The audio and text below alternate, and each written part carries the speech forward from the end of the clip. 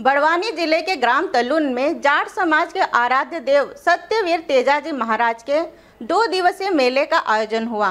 इस दौरान तेजा जी के दर्शन के लिए ज़िले सहित विभिन्न स्थानों से श्रद्धालु पहुँचे और पूजन दर्शन किए। इस मौके पर तेजा जी के मंदिर पर आकर्षक विद्युत सज्जा की गई। दो दिवसीय मेले के चलते खाद्य सामग्री खिलौनों की दुकानें सजी थी, जिसमें मान मन्नत के अंतर्गत बच्चों का तुलादान किया गया।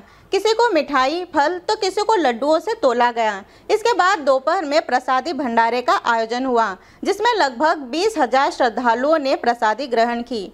धनगर समाज द्वारा पेयजल स्टॉल लगाकर सेवा की। जागरण, भजन, कीर्तन और तेजा जी की कथा का मंचन हुआ। बड़वानी से अतुल कुमावत की रिपोर्ट। हेलो फ्रेंड्स आप देख रहे हैं हमारा channel S W twenty four news हमारे सारे वीडियो सबसे पहले देखने के लिए आप हमारे चैनल को सब्सक्राइब करें और पास में लगे बेल आइकन को दबाना बिल्कुल भी ना भूलें।